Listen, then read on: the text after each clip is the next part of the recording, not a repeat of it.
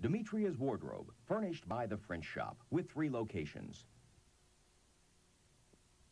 Closed captioning for the scene at 6 provided by Bell South.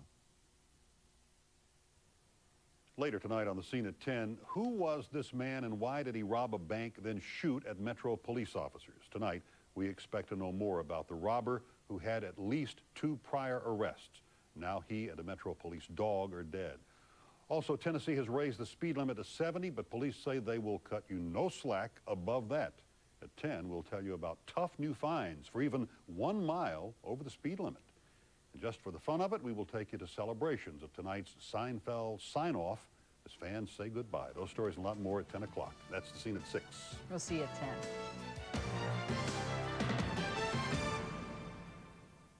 Bill Hall and SkyMax with instant weather, working for you.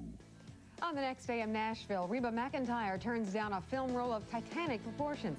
Plus Seinfeld, America and Nashville watch the final episode Friday morning at 5.30. Hello, I'm Bill Hall. April 16th, the Mid-South was devastated by a rash of deadly tornadoes. Now, a month later, Channel 4 is proud to announce the completion of RadarNet, a live community-based weather radar network installed in 23 county emergency management offices. This means emergency workers where you live will have access to the same information I do, preparing them and you for the worst.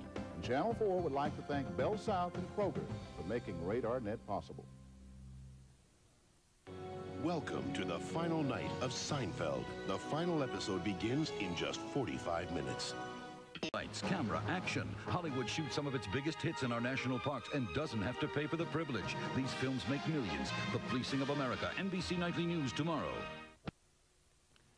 A new price for getting where you're going too fast at 10. Go look at the aftermath of Seinfeld at 10 o'clock.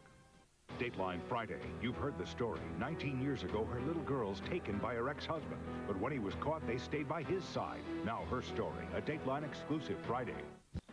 We'll look at the aftermath of Seinfeld at 10 o'clock.